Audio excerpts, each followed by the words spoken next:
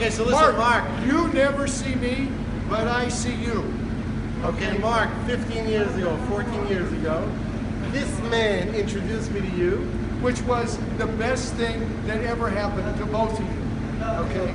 And to you. Israel, Give your- and to the world. Give your wife a kiss. And And this all man- your kids. This all your kids.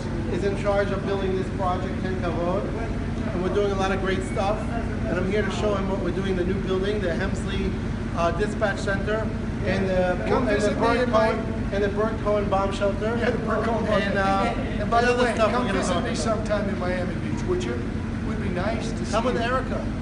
Yeah, you can bring your wife. I'll take you to a vegan dinner. Okay, so and so then it'll be No, automatically kosher. he. You know, no, I said vegan. to uh,